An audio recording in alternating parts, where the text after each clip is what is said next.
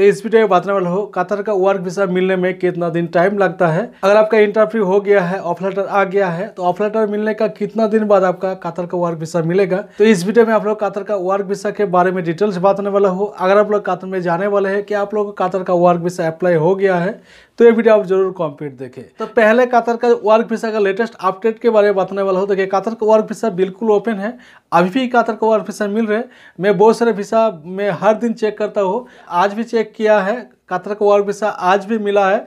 तो कातर का वर्क वीसा बिल्कुल ओपन है। अगर कतर का वर्क वीसा के लिए आप अप्लाई किया है तो ज़रूर आपको कतर का वर्क वीसा मिलेगा, क्योंकि कातर का वर्क वीसा बिल्कुल ओपन है और अभी भी कातर का वर्क वीसा मिल रहा है। और कातर जाने के लिए ना आपको पीसीआर टेस्ट करना पड़ेगा, ना रेपिड एंटीजन टेस्ट करना पड़ेगा, ना आपको होटल क्वारंटाइन में रहना पड़ेगा। अगर आपका पास ये तीनों चीज़ है तो आप कातर में जा सकते आपका पास ओरिजिनल पासपोर्ट रहना चाहिए वीसा कॉपी रहना चाहिए और आपका फ़्लाइट टिकट रहना चाहिए। ये तीनों चीज़ रहेगा तो आप आराम से कातर में ट्रेवल कर सकते कतर में आप जा सकते तो ये हो गया कतर का वर्क वीसा का लेटेस्ट अपडेट कतर का वर्क वीसा बिल्कुल ओपन है। तो कतर का वर्क वीसा मिलने में एक्चुअली कितना दिन टाइम लगता है?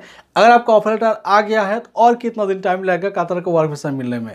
तो कतर का वर्क वीसा का बहुत सारे प्रोसेस है। बहुत सारे प्रोसेस कंप्लीट होने के बाद ही आपको वर्क वीसा मिलता है। ऐसा जो माल्टेंटी वीसा है, बहुत ही जल्दी मिलता है। लेकिन कतर का वर्क वीसा मिलने में थोड़ा टाइम लगता है। लगभग आपको एक से डेढ़ महीना टाइम लग जाता है, क्योंकि इसका अंदर बहुत सारे प्रोसेसिंग है, बहुत सारे प्रोसेसिंग कंप्लीट होने के बाद ही मिलता है। तो क्या क्या प्रोसेसिंग इसमें होता है देखिए, पहला जो प्रोसेसिंग होगा आपको किसी भी कंपनी में इंटरव्यू देना पड़ेगा, क्या सिविल सिलेक्स में आपको हिस्सा लेना पड़ेगा? अगर सिविल सिलेक्स में आपको सिलेक्ट करें क्या आप इंटरव्यू देके सिलेक्ट करें। तो सिलेक्ट होने के बाद आपका जो पासपोर्ट नंबर से आपका जो पासपोर्ट नंबर है उस नंबर से पहले वीसा अप्लाई होगा। तो पहले वीसा अप्लाई हो गया मतलब आपको वीसा मिल गया ऐसा नहीं है। पहले आपका वीसा सिर्फ़ अप्लाई हुआ है। तो जैसे वीसा अप्लाई हो जाएगा उस टाइम में आपका वीसा का स्टेटस चेक करेंगे। अगर आपका पासपोर्ट नंबर से वीसा का स्टेटस चेक करेंगे तो अंडर प्रोसेस शो करेगा। तो उसके बाद अंडर प्रोसेस से आपको अंडर आउटसाइड प्रोसेस शो करेगा।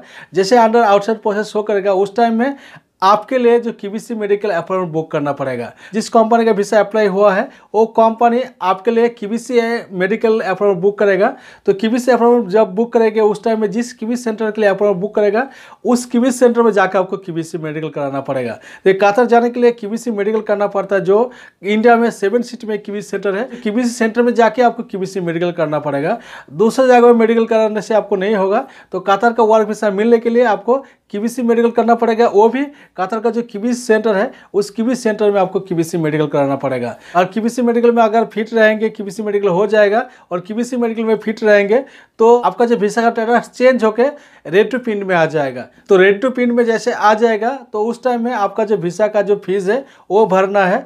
आपका जो वीसा का फ़ीस होता है, तीन सौ रियल होता है। तीन सौ रियल जैसे पे कर देगा, उसके बाद आपका वीसा का स्टेटस चेंज होकर वेलिटी यूज़ में आ जाएगा। तो वेलिटी यूज़ में आ गया है, अब उसके बाद आप वीसा को डाउनलोड कर सकते पिन करा सकते। तो वेलिटी यूज़ में आ गया मतलब आप वीसा को यूज़ कर सकते, उस वीसा से आप कातर एंट्री कर सकते कातर जा सकते। तो ये जो लंबा प्रोसेस कंप्लीट होने में आपको एक से डेढ़ महीना टाइम लग जाता है। अगर आपका ऑपरेटर मिल गया है तो आपको और आपको 20 दिन वेट करना पड़ेगा। क्या डेढ़ महीने तक वेट करना पड़ सकते हैं? अगर आपका कंपनी का बहुत ही अर्जेंट है तो आपको 20 दिन का अंदर भी वर्क वीसा मिल सकते हैं। तो उम्मीद करता हूँ पूरा डिटेल्स आपको जानकर मिल गया है।